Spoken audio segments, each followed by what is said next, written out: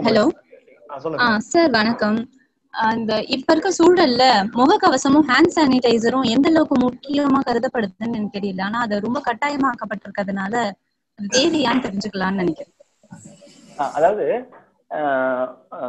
முழுக்க சயின்டிபிக்கலா ப்ரூவ் ஆகாத ஒரு விஷயம்தான். ஏன்னா எது ப்ரூவ் ஆன ஒரு விஷயம்னு சொன்னாங்களோ அந்த முக முகக்கவசமே பயன்படாதுன்னு அப்புறம் ஒரு அறி அறிக்கை வந்தது. பொதுவா ஒன்னும் ஒன்னும் முழுமையா முகக்கவசத்தை வச்சோ அந்த கழுவுறதை வச்சோ நோயெல்லாம் கட்டுப்படுத்த முடியுன்ற விஷயமா ஒரு முழுமையான ஆய்வு வெளி வெளி வரல ஆனா ஆரம்ப கட்டத்துல வந்த ஆய்வு தான் நம்ம ஃபாலோ பண்ணிட்டு இருக்கோம் இது தனிப்பட்ட முறையில கேட்டீங்க அப்படின்னாக்கா அவசியம் இல்லாத ஒண்ணு. ஆனா அரசு சட்டப்படி நம்ம இதை செஞ்சே தீர வேண்டியது இருக்கு. வெளியில போகும்போதும் பொது இடங்கள்ல இருக்கும்போதும் அந்த பயன்பாட்டை ப- படுத்திக்க வேண்டியது இருக்கு.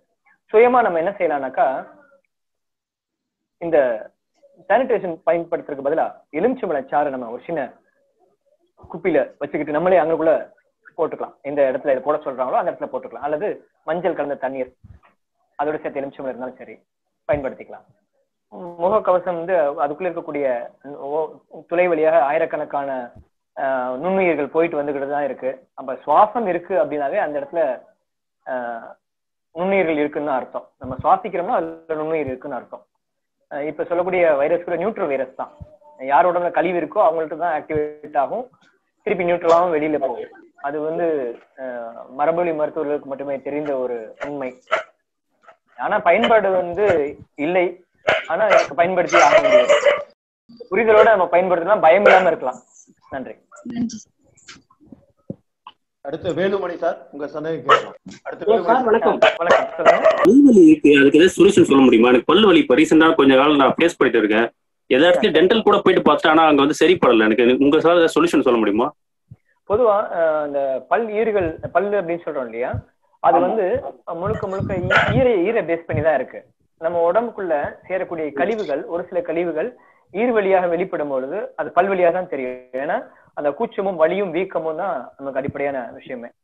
ஒரு இடத்துல வலிக்குதுன்னு சொன்னாவே அது அந்த இடத்துல ஒரு மாற்றங்கள் நடந்துகிட்டு இருக்குன்னு அர்த்தம்.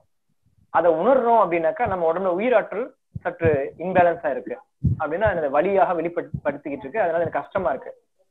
அப்ப என்ன செய்யணும்னா நம்ம இந்த பல்லை இடைஞ்சல் செய்யக்கூடிய பிரஷும் பேஸ்டும் பயன்படுத்தாம என்ன செய்யலாம்னாக்கா பல் பொடியை விரலாலேயே தேய்ச்சி விட்டுக்கோங்க முதல் ஃபர்ஸ்ட் ஓகே இது வந்து நம்ம பிசிக்கலா டேமேஜ் பண்ணாம இருக்கிறது. அடுத்தது உணவு முறையில நல்லா எந்த அளவுல இப்போதைக்கு என்னால மென்னு சாப்பிட முடியுதோ அந்த அளவுக்கு உள்ள பொருளெல்லாம் எடுத்துக்கிறது இப்ப வலிக்குது கஷ்டமா இருக்கு.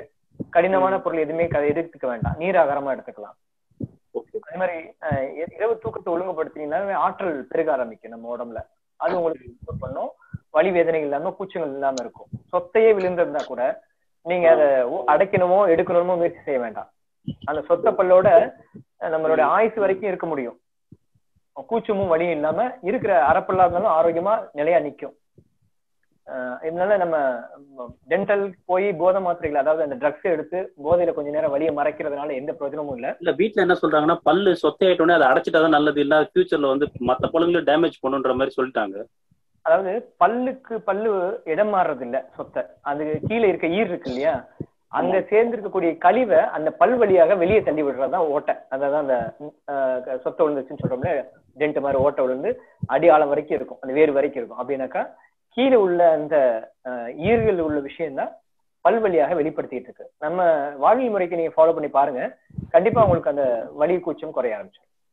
ஆஹ் அதே மாதிரி இன்னொரு ஒரு ப்ராப்ளம் இருக்கு. எனக்கு வந்து தலையில டேண்ட்ரஃப்னு சொல்ல முடியாது. ஒரு மாதிரி ஒரு டேமே டேண்ட்ரஃப்னு சொல்ல முடியல ஆனா ஒரு மாதிரி இது அரிப்பு இது வந்து அதுல வெள்ளையில ஒரு போக இது மாதிரி வெளி- வெளிப்படுது. இப்போ இந்த தோள்கள்ல கேட்டாங்க இல்லையா? ஒரு. தொந்தரவு அதேதான். அதேதான் தலைவலியா வெளிப்படுது. அந்த கழிவு வந்து தலைவலியா வெளிப்ப வெளிப்படக்கூடிய கழிவா இருந்துச்சுன்னா தலைப்பக்கம் தான் வெளி வரும் ஆஹ் இந்த வெளிப்பூச்சுகளை நிறுத்திடுங்க அதேதான் அந்த தூக்கத்தை ஒழுங்குபடுத்துங்க. தூக்கம் த- தலையில உள்ள முடி சார்ந்த பிரச்சனைகள் அனைத்தும் சரியாயிடும். ஓகே அடுத்ததா நாகலிங்கம் சார். உங்க டவுட் கேட்கலாம். கேக்குதா சார்? சொல்லுங்க சார். சார் சார் பேசுனது ரொம்ப எல்லாமே நல்லா இருந்துச்சு சார். அதுல ஒரு விஷயம் வந்து எனக்கு ரொம்ப எனக்கு என்னை ஒரு விஷயமா இருந்துச்சு. என்னன்னா ஒரு மன மன தைரியத்தோட கொஞ்சம் வாய்ஸ் மைக் பக்கத்துல வச்சு பேசுங்க. கேக்குதா சார்? லோவா இருக்கு சார் கேக்குதா சார்? ஆ இப்ப கேக்குது. சொல்லுங்க. ஆ சார் அதான் நீங்க வந்து சொன்னீங்க ஒரு இடத்துல கொண்டு தனியா எனக்கு எதுவுமே இல்லாம கொண்டு விட்டாலும் எல்லாத்தையுமே அடாப்ட் பண்ணி வந்து இது பண்ணி வந்துருவேன்னு சொன்னீங்க. அதே மாதிரி. எனக்கு எந்த ஏதாவது எப்படி இந்த சின்ன விஷயத்துக்கு கூட கொஞ்சம் பயமான இதா இருக்கு சார். இப்ப திடீர்னு இப்ப ஆபீஸ்ல ஒர்க் பண்றேன்னு வச்சுக்கோங்க திடீர்னு சடனா ஏதாவது ஒரு விஷயம்னா எனக்கு படப்படான்னு பயமாகி அந்த மாதிரிலாம் ஆஹ் அதாவது சின்ன வயசுல இருந்து பயம் பயம் ஆகி இப்போ அந்த பயம் வந்து ரொம்ப அதிகமா இருக்கு சார் இப்ப இத சர்வ அதுதான் ஒரு பெரிய ஆளு. அந்த மாதிரி இருக்கிறவங்க தான் லைஃப்ல பெரிய ஆளா ஆகுறாங்க. செல்வ செல்வத்தாலையும் செலுத்தி வராங்க. உடல் வலிமையாக வராங்க அப்படின்னு சொல்லியிருந்தீங்க. இப்ப என்னோட என்னன்னா அந்த மாதிரி என்னால வர முடியாது அப்படிங்கிற மாதிரி அந்த மாதிரி நான் பயந்து போயிருக்கிறேன். இப்போ இப்ப நான் என்ன computer அப்படி அந்த மாதிரி டெவலப் பண்ணி நானும் ஒரு பெரிய மனிதர் ஆகணும். ஒரு உங்க வாய்ஸ் கொஞ்சம் கேட்கல. இருந்தாலும் ஒரு சாராம்சத்தை புரிஞ்சுக்க முடியுது. நம்ம சமுதாயத்திலயும் நல்லபடியா வாழணும் அப்படின்ற விருப்பம் அப்படி இருக்கு இல்லையா? அதுல நம்ம செய்யற செயல்கள்ல ஒன்னும் நல்ல எண்ணங்களை உள்ள அதுல கலங்க. நீங்க செய்யக்கூடிய ஒவ்வொரு செயலையும் நல்ல எண்ணங்களோட செயல்படுங்க செயல்படுத்துங்க. கண்டிப்பா நீங்க எதை விதைச்சீங்களோ அதை கண்டிப்பா அறுவடை செய்வீங்க. எந்த மாதிரியான துறையா இருந்தாலும் சரி எந்த மாதிரியான வேலையா இருந்தாலும் சரி சங்கடப்பட வேண்டாம். கண்டிப்பா உங்களுக்குரிய அஹ், நன்மைகள் நீங்க செஞ்ச நல்ல எண்ணங்களுக்கான விஷயங்கள் உங்களை வந்தே சேரும். சார் நான் வந்து ரொம்ப பதட்டம் பதட்டமாகிறேன் சார். அதான் இது புரிதல் இல்லாத வரக்கூடிய பதட்டம் தான். மனதையும் உடம்பையும் பத்தி தெரிஞ்சுக்கல. சார் அதுதான் அது நான் எப்படி என்ன பண்ணணும் என்ன மாதிரி அது ஃபர்ஸ்ட் நம்ம உடலை பத்தி புரிதலுக்கு வாங்க. உடம்பு ஆரோக்கியமா வச்சுக்கிறதுக்கான வேலையை செய்யுங்க. ஓகே சார் வலு உடம்புல மனசு வலு கூடும். உட உடம்புல வலு வந்தோடனே அது மனசுக்கு வரும் நல்லா கண்டிப்பா. அதே மாதிரி மனதுடைய வலிவும் உடம்புல தெரியும். அப்ப மனசுல இந்த நல்ல விஷயங்களை செயல்படுத்த செயல்பட எண்ணங்களை வைக்க வைக்க அந்த பியூரிட்டி நம்ம உடம்புக்குள்ள கிடைக்க கிடைக்க இந்த மனதுல கிடைக்க கிடைக்க. உடம்பும் பியூர் ஆகுறதும் மனசும் பியூர் ஆகும்போது நீங்க என்ற எண்ணி நல்ல எண்ணங்களை எண்ணி அதை நல்ல எண்ணங்களோட செயல்படுத்தும் போது செயல்படுத்தும் பொழுது கண்டிப்பா நல்ல ஒரு மாற்றம் ஏற்படும். என்ன உனக்கு வந்து மெல்டட் ஹார்ட் சொல்ல உடனே அதுக்கு அதை வாய்ஸ் வாய்ஸ் இதை போய் வருது. நீ வந்து இலகிய இதயம் மனது- மனசு வந்து உனக்கு மெல்லிய மனது. அதனால சின்ன இது சொன்னாலும் உன்னால தாங்க முடியல. கஷ்டப்படுற அப்படின்னு சொல்ல எனக்கு அந்த இதயத்தை வந்து நான் ஒரு பலமான இதா மாத்தணும் சார் அந்த ஆமா அதாவது என்னன்னாக்கா நம்ம வந்து இப்போ ஒரு விஷயத்துல நடுநிலையா இல்லைன்றத காட்டுது. ஒரு சார்ந்து ஒரு சாயும் பொழுது அதிகப்படியான அன்பு வைக்கும் போது அது இயல்பா இருங்க. ரொம்ப அஃபெக்ஷன் ஆக வேண்டாம். எல்லாமே மாறக்கூடிய சூழல்ல இருக்கிறது. இந்த உலகமே மாறிக்கிட்டே இருக்கிற சூழல் இருக்குது. இப்ப மாறிக்கிட்டே இருக்க சூழல்ல நம்ம ரொம்ப ஈர்ப்பு ஏற்படுத்தணும்னா மாறிடுச்சு அது. நான் எதிர்பார்த்த மாதிரி இல்லைன்னு கஷ்டம் ஏற்பட ஆரம்பிக்கும். ஏன்னா இந்த உலகமே படைக்கப்பட்டது மாறி மாறிக்கிட்டே இருக்கக்கூடிய சூழல்ல தான் படைக்கப்பட்டிருக்கு. அதை புரிஞ்சுக்கிட்டீங்கன்னா போதும். Thank you sir okay Srinivasan sir உங்க டவுட் கேட்கலாம். பண்ணிட்டேன். ஹலோ? ஹலோ வண- வணக்கம் சார். நான் சீனிவாசன் பேசுறேன். வணக்கம் சொல்லுங்க சார். ஒன்றும் இல்லை சார். நான் வந்து அலோபதி டாக்டர்கிட்ட போ போறேன். அவங்க ஒரு மருந்து ஒன்று கொடுக்குறாங்க. அதனால வந்து வேர்வை த- வந்து வெளியேறுது. இப்போ ஈழர்கிட்ட போனேன்னு வச்சுங்களேன். அவங்க என்ன பண்றாங்க ஏதோ நம்ம ஆட்டோமேட்டிக்கா நான் என்னால உடம்பு வந்து சரியில்லை அப்படின்னு சொல்லிட்டு தான் என் உடம்பு வந்து இப்படி இருக்குது. அவங்க ஈழர் போட போனோன்னா அவங்க வந்து ஏதோ நரம்ப இது பண்ணி விடுறாங்க. அது என்ன இது வந்து உடம்பு வந்து திருப்பி ஒரு ரீப்ரெஸ் கொடுக்குது. அது ரீசார்ஜ் பண்ற மாதிரி இருக்குது. வாரம் வாரம் தான் நான் ரீசார்ஜ் பண்ற மாதிரி ஆகுது அது. ஹலோ சொல்லுங்க. ஆ அதுதான் சார் அது. நம்ம வந்து என்னால முடியலன்னு சொல்லிட்டு இந்த உடம்ப போயிடுது ஆனா நீங்க லாஸ்ட்ல என்ன பண்றீங்க? அந்த நரம்பே தூண்டி விட்டு இது பண்றீங்க. அது ஒரு ஒரு வாரம் கழிச்சு நான் வார வாரம் போயிட்டே தான் இருக்கிறேன். அதனால வந்து எப்போ வந்து இது இதுவாகும் சார் இது? எப்ப முடிவுக்கு வருதுன்னு கேக்குறீங்க. வாரம் வாரம் போயிட்டே இருக்க வேண்டியதா இருக்கேன்னு ரைட் என்னன்னா நம்மளுடைய உயிராற்றல் பலமாகிற வரைக்கும் தான். இப்போ இந்த சிகிச்சை முறையில நீங்க அதோட சேர்த்த நம்மளுடைய வாழ்வியல் முறை இருக்கு இல்லையா? அதை சொல்லி கொடுத்திருப்பாங்க. முடிஞ்ச அளவுக்கு அத. ஒழுங்குபடுத்திட்டே வாங்க. அது படு அந்த ஒழுங்கு ஒழுங்காக ஒழுங்காக. உடம்புல உயிர் ஆற்றல் பலமாயிட்டே இருக்கும். அந்த வேலை செய்யற விதம் நம்மளுக்கு தெரியும். இன்னை விட நல்ல. முன்னேற்றம் தெரியும். அப்படி ஒரு முன்னேற்ற நிலை வரும் பொழுது உங்களுக்கு மருத்துவம்ன்றது ஒண்ணு வெளியில இருந்து அவசியமே படாது. இப்போதைக்கு அந்த. உயிராற்றலுக்கு உதவி ஒரு- பேலன்சிங் பண்றதுக்கு உதவி தேவைப்படுறதுனால சிகிச்சை தேவைப்படுது. இதுக்கப்புறம் நீங்க கொஞ்சம் கவனிங்க அது என் உடம்ப வந்து என்னால முடியலன்னு சொல்லிட்டு தான் இதுவாயிடுது. நீங்க வந்து அத வந்து ஒரு இது பண்ணி ரீப்ரெஷர் பண்றீங்க. அது திருப்பி தான் சார் சோர்ந்து போகுது அது. திருப்பி அவங்க ரீஃப்ரெஷ் பண்ணல. உங்கள்ட்ட உள்ள சக்தி தான். அது சமநிலை தவறுது. அதை சமநிலைக்கு கொண்டு வர்றாங்க. ஒரு அக்குபஞ்சர் சிகிச்சையாளர் அதான் செய்ய முடியும். அப்ப இல்ல அவங்க சொல்றாங்க. இளையர சொல்றாங்க நம்ம உடம்பே வந்து நம்மள வந்து இது பண்ணிக்கும் ஆட்டோமேட்டிக்கா நம்மளே வந்து அது குணப்படுத்திக்கும் அதனால அது அதனுடைய ஆற்றல் வந்து நம்ம உடம்புக்குள்ளேயே இருக்குது அப்படின்னு சொல்லி சொல்றாங்க. ஆனா வந்து இவங்க ஏன் அதை பண்ணிட்டே திருப்பி நம்மள ரீசார்ஜ் பண்றாங்க? இல்ல சார் அதாவது ரீசார்ஜ் பண்ணல இவங்க. உங்கள்ட்ட. இருக்கக்கூடிய ஆற்றல் தான். அது சமநிலையில இல்ல. நான் சொன்னேன் இல்லையா இந்த உஷ்ண குளிர்ச்சி மாறிக்கிட்டே இருக்குது உங்க உடம்புல. சரி சமநிலை வர்றதுக்காக ஒரு ஹீலர் உங்களுக்கு சிகிச்சை கொடுப்பாரே தவிர வேற அவர் ஒண்ணும் செய்ய முடியாது. Okay okay. அதனால இத நீங்க உங்களோட உயிராற்றல இன்னும் நீங்க சமநிலைக்கு கொண்டு வரதுக்கு நீங்க செய்ய வேண்டிய இந்த பசி தாகம் தூக்கம் ஏன் சொல்லிக்கிட்டே இருக்காங்க அப்படின்னாக்கா இதுதான் நம்ம செய்யற தவறு. அதை சரி பண்ணிட்டோம்னாவே உயிராற்றல் அந்த அந்த உஷ்ணம் குளிர்ச்சி சமநிலைக்கு வந்துரும். உயிராற்றலுக்கு எந்த விதமான அந்த கஷ்டங்களும் இருக்காது வெளிப்படுறதுல. அப்புறமா சார் இன்னொன்னு சொன்னீங்க. நம்ம வந்து நம்ம ஒருத்தர்கிட்ட போய் நம்ம கேட்கறேன்னு வச்சுங்களேன். அவங்க வந்து அவங்க அவங்களுக்கு என்ன நாலேஜ் இருக்குதோ அதை வச்சுதான் அவங்க வந்து நம்மளுக்கு வந்து சொல்லுவாங்க அப்படின்னு நீங்க சொன்னீங்க. அப்போ வந்து நீங்க வந்து என்ன பண்றீங்க? நீங்க வந்து உங்க உயிர்கிட்ட கேளுங்க. மனன்றது வந்து உயிர்கிட்ட வந்து போய் கேட்கணும் அப்படின்றீங்க. அந்த மனம்னா அது உயிர்னா அது கொஞ்சம் வித்தியாசம். ரெண்டு வேற வேறீங்களா? இல்ல ரெண்டு ஒண்ணுங்களா? எல்லாமே ஒண்ணுதான். அதோட அம்சங்கள் வெளிப்படுத்தக்கூடிய விதங்கள் வேறு. இப்போ உதாரணமா ஒரு ஒரு கண்ணாடி குழு இருக்கு. ஒரே ஒரு வெளிச்சம் தான் அடிக்குது. ஏழு வண்ணங்களாக வெளிப்படுது. ஏழு ஏழு வெளிச்சமா கலரா வெளிப்படுதுன்னா இந்த உயிர் ஒண்ணுதான் மனம் ஒண்ணுதான். அது வெளிப்படும் போது உடலாக வெவ்வேறு அங்கங்களாக வெளிப்பட்டுக்கிட்டு இருக்கு அப்ப இதெல்லாம் இது- பிரிச்சு பார்க்க முடியாது. நம்மளோட புரிதலுக்காக ஒண்ணு பிரிச்சு பார்த்து நம்ம எங்க நிக்கிறோம் எங்க தேக்கமாகறோம் எதை நம்ம ஒழுங்குபடுத்திக்கணுன்றதுக்காக இப்படி பிரிச்சு பேசப்படுது. வேற ஒண்ணும் இல்ல. அது கொஞ்சம் விளக்கமா சொல்ல முடியுமா சார் உயிர்ன்றதுனா மனம்ன்றதுனா அப்படின்னு சொல்லிட்டு. இப்போ இப்போ இது வந்து இந்த உயிரும் மனமும் மறைவானது. அதை நம்ம வெளிச்சம் போட முடியாது. ஆனா உணர முடியும். இப்போ உடல் என்பது நம்ம உணர்றோம் இல்லையா? வெளியில தெரியுது இல்லையா? உடல் வந்து நம்ம பாக்குறோம் உணர்றோம். பாக்குறோம் உணர்றோம். பார்க்க முடியல எது இருக்குதோ அதை நம்ம புறக்கணிச்சிடுறோம். அது அத அதுலதான் கொஞ்சம் கவனம் வைக்க வேண்டியது இருக்கு. இப்போ இப்போ நம்ம சுவாசிக்கிற காத்து வந்து மறைவானதா இருக்கு. உள்ள போன உடனே ஒரு அசைவு கொடுக்குது. நுரையீரலுக்கே ஒரு அசைவு கொடுக்குது. ஒரு விரிஞ்சு அப்ப அப்பதான் நம்ம உயிரோட இருக்குன்றதே ஏத்துக்கிறோம். அப்ப இந்த ஒவ்வொரு பொருளுக்கும் மறைவான ஒரு பொருள் இருக்கு அப்படின்றதுதான் இந்த எங்களுடைய அக்குபஞ்சர் தத்துவம் சொல்லுது. கருவு தத்துவம் மறைவான பொருள் தான் உருவமான பொருளாக இருக்குது வெளிப்படுது தன்னை வெளிப்படுத்துதுன்னு. அப்ப இந்த உயிர் மறைவானது அதை நீங்க சொல்லுங்க சொல்லுங்க சார் உயிர் மறைவானது. அது வெளிப்படக்கூடிய உடம்ப வச்சுதான் நம்ம இந்த உயிரோடைய தன்மையை உணர்ந்துக்கிறோம். Ah okay sir. சரிங்க சார். அப்புறமா நம்ம வந்து ஒரு டாக்டர்கிட்ட போறேன் சார். அலோபதி டாக்டர்கிட்ட போனோம்னா அவர் வந்து ஒரு டேப்லெட்டை வந்து மாத்தி குத்துறாருன்னு வச்சுங்களேன். எனக்கு வந்து அது வேற மாதிரி ரியாக்டட் ஆகும். ஆ? அதை வந்து தலைவலிக்கு போனோன்னா அவருக்கு ஜுரத்தை குத்துறாரு வேற எதுனா டைப்பாய்டு இருக்கிற மாத்திரை குத்தாருன்னு வச்சுங்க எனக்கு ரியாக்ஷன் வந்து மாறும். அதே மாதிரி ஈலர் வந்து நம்ம போற ஈலர் வந்து மாத்தி குத்துட்டாங்கன்னு வச்சுங்களேன்.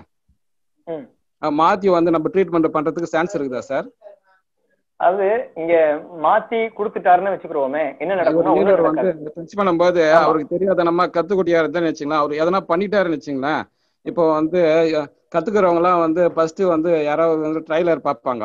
அவங்க நம்ம வந்து ட்ரைலர் பார்க்கும்போது அது இன்னும் ஒரு வருஷம் ஆயிருக்காது. அவங்க நம்மள பார்க்கும்போது தப்பா எதனா வந்து நரம்பு அழுத்திட்டாங்கன்னு வச்சுங்க அப்ப எனக்கு எதனா பாதிப்பா வருங்களா? அதாவது இதுல முதல்ல நம்ம உடம்புல நிரம்பையோ தசையோ அழுத்தல தோள்களுக்கு மேல இருக்கக்கூடிய புள்ளிகளை தான் தொட்டு சிகிச்சை பண்றாங்க. அதுதான் இந்த வெளியில இருக்கக்கூடிய ஆற்றல உடம்புக்குள்ள கடத்தி கொண்டு வருதுன்னு சொன்னேன் இல்லையா?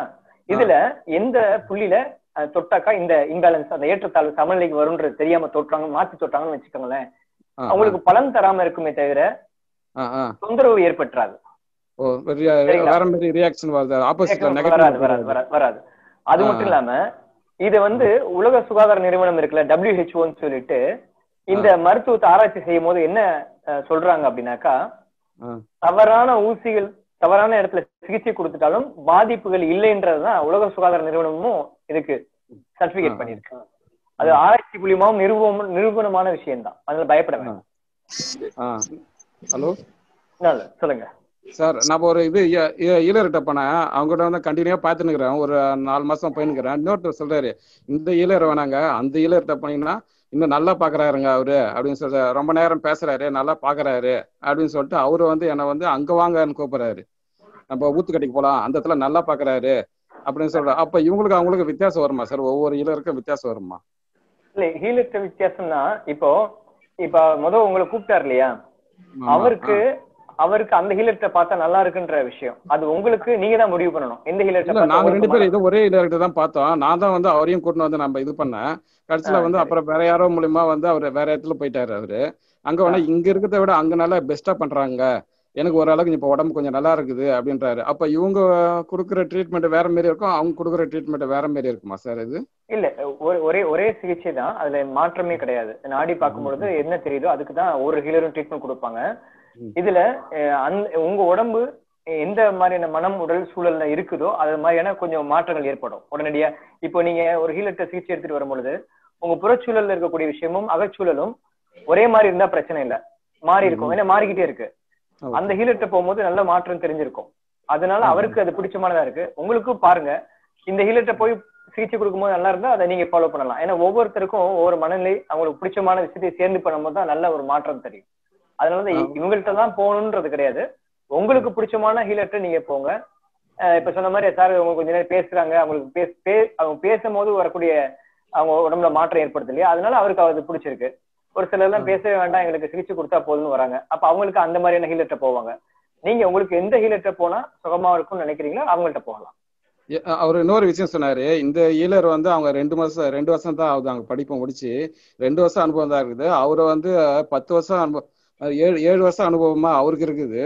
அதனால வந்து அவருக்கு அனுபவம் அதிகம். அப்ப அனுபவம் அதிகமா இருக்கிற ஆளுகிட்ட தான் நம்ம போய் பாத்துக்கணும் அப்படின்னு சொல்லிட்டு அவர் சொல்றாரு. இது எப்படி சார் அது? அனுபவம் அதிகமா இல்ல இருக்கிற சார். எங்க எ- எங்கள்ட்ட சிகிச்சை முடிச்சுட்டு நாங்க வந்து இப்போ மாஸ்டர் வந்து சிகிச்சை கொடுத்துக்கிட்டு இருக்கோம் எங்கள்ட்ட படிச்ச மாணவர் வந்து வெளியூர் போய் ஒரு நாளைக்கு ரெண்டாயிரம் மூவாயிரம் பேர் பார்க்கக்கூடிய நபர்கள் பாக்குறோம் ரெண்டாயிரம் மூவாயிரம் பேஷண்ட்ஸை பாக்குறாங்க அப்போ வந்து இது அனுபவம்லாம் கிடையாது. அனுபவம் வச்சு டிசைட் பண்றது இல்ல. அனுபவம் பண்ண பண்ண இன்க்ரீஸ் ஆகாது சார் அது அவங்களுக்கு? அன்பு அனுபவத்துல இன்க்ரீஸ் ஆகுறது என்னன்னாக்கா அவங்க அவங்களுக்குள்ள அந்த பயம் அந்த குழப்பங்கள் நீங்கும்.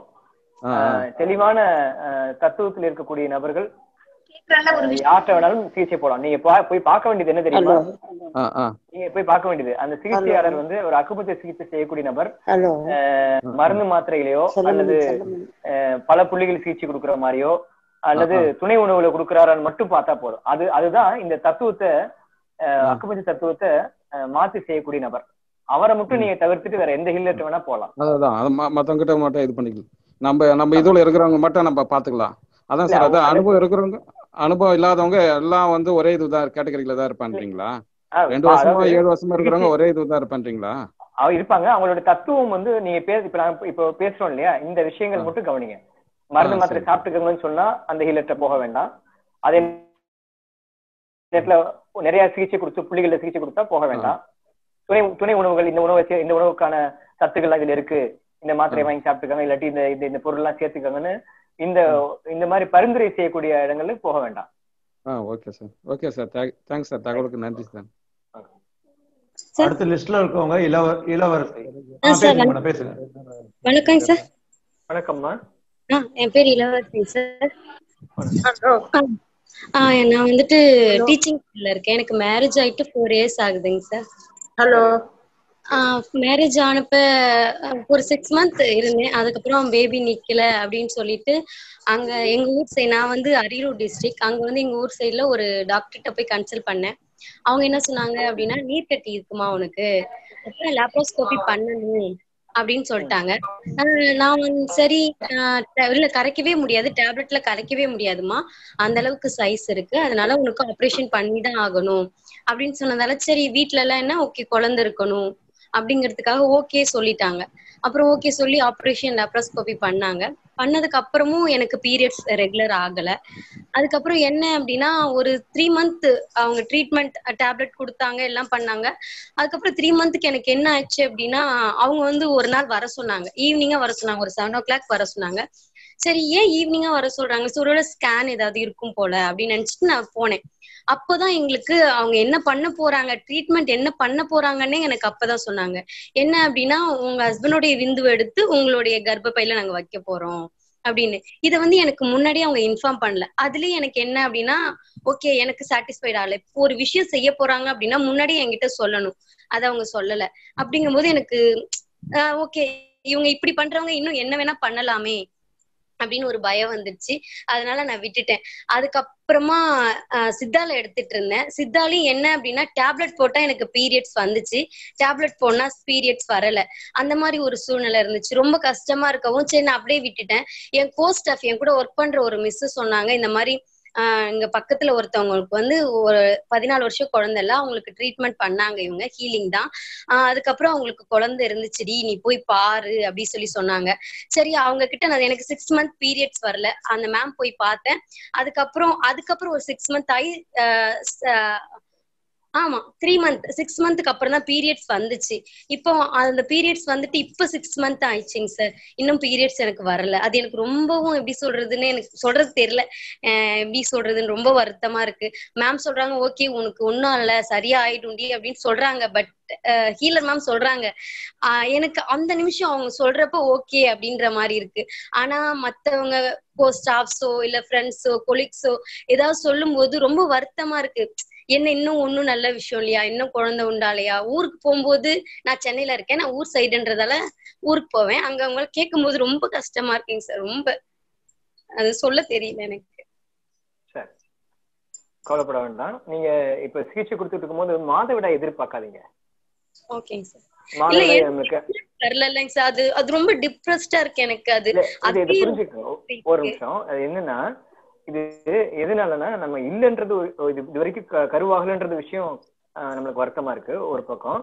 நான் சொல்றது என்ன நடக்கணுமோ அதை நினைக்காம நம்ம என்ன நினைக்கிறோம்னா மாதவிடாய் ஏற்படணும் அப்பதான் கருவாகும் நினைப்பு இருக்கு மனசுல. அது இல்ல. மாதவிடாய் ஏற்பட்டுதான் கருவாகணும்ன்ற அவசியமே இல்ல. மாதவிடாய் கழிவுகள் வெவ்வேறு ரூபத்துல உடம்பு விட்டு வெளியே போய்கிட்டே இருக்கும். நம்ம அதை யோசிச்சுட்டே இருந்தோம்னா கருவாக வேண்டிய விஷயம் தடைப்பட்டு போயிட்டே இருக்கும். உங்களுடைய மனதுல இப்ப விருப்பமா வைக்க வேண்டியது எனக்கு ஆஹ், அந்த உயிரின் அடிப்படையில அந்த உயிரோடைய வெளிப்பாடா ஒரு கரு எனக்கு வேணும். ஆரோக்கியமான கரு வேணும். அப்படின்ற விஷயத்த மனசுல ஆழமா வைங்க. எதுவும் யோசிக்க வேணாம். உங்களுக்கு வேண்டியது என்ன? அழகான ஆரோக்கியமான கருவை பெற்றெடுக்கணும். அப்படின்ற ஒரு குழந்தையை பெற்றெடுக்கணும். அதுக்கான விஷயம் மட்டும் தான் எனக்கு வேணும். அவ்வளவுதான். யார் கேட்டாலும் நீங்க சிகிச்சையில் இருக்கன்றதை மட்டும் சொல்லுங்க. வேற எதுவும் பேசிக்க வேண்டாம். இல்லைங்க சார் நீர் கட்டி இருக்கு அதனாலதான் இப்ப சொன்னேன்லம்மா அந்த உஷ்ணம் குளிர்ச்சி சமநிலை மாறும்போது தொண்ணூறு சதவீதமான பெண்களுக்கு இப்போ உள்ள காலச்சூழலுக்கு கட்டி இருக்கத்தான் செய்யும். நீங்க மென்சஸ் ஆனவங்க ஆறவங்க அதே நேரத்துல குழந்தை பெத்தவங்க ஒரு பத்து பேரை கூட்டு போய் உங்க செலவுல செக் பண்ணி பாருங்களேன். எட்டு ஒன்பது பேருக்கு கட்டி இருக்கும். ஆஹ் உஷ்ணம் குளிர்ச்சி மாறிக்கிட்டே இருக்கு. அது மனசு மனதின் வழியாகவும் உடலின் வழியாகவும் நம்ம செய்யற தவறுகளால அது உஷ்ணமா வெளிப்பட்டுக்கிட்டு தான் இருக்கு. குளிர்ச்சியா உஷ்ணமா மாறிக்கிட்டே இருக்கு. அது எங்க வேணா கட்டியா இருக்கலாம். உதடு உடம்பு மனசு இங்க வெளியில வருது இல்லையா? அது அதே மாதிரி உடம்புக்குள்ள உறுப்புகள் மேல உறுப்புகளுக்குள்ள இப்படி எல்லாம் கட்டி வரதான் செய்யும். அந்த. உஷ்ணம் குளிர்ச்சி சமநிலைக்கு வந்து அந்த கட்டி கரைஞ்சிரும். சர்ஜரி பண்றதுக்கு வேண்டிய அவசியமே இல்ல. அப்படி பெரிய கட்டியா இருந்தா கரைச்சு நம்ம மாதவிடாய் ஏற்படும் போது அது தன்னால வெளியே வந்து விழுந்துரும் அந்த கட்டி துகள் துகளா அதனால விடுங்க நடந்து முடிஞ்சதை விடுங்க. தவறுதான் ஒரு விஷயம் நம்ம செஞ்சது உடம்புக்கு. அந்த தவறு செஞ்சுட்டோம்ன்ற உணர்வு மட்டும் இருந்தா போதும். விட்டுட்டு வேண்டியதை வைங்க மனசுல. கூடிய சீக்கிரம் நல்ல சிறப்பான ஒரு ஆரோக்கியமான குழந்தையை பெற்றெடுப்பீங்க. Okay sir. இதுல ஃபுட் எதுவும் அப்படிலாம் எதுவும் ஃபாலோ பண்ணணும்? ஒண்ணும் இல்ல.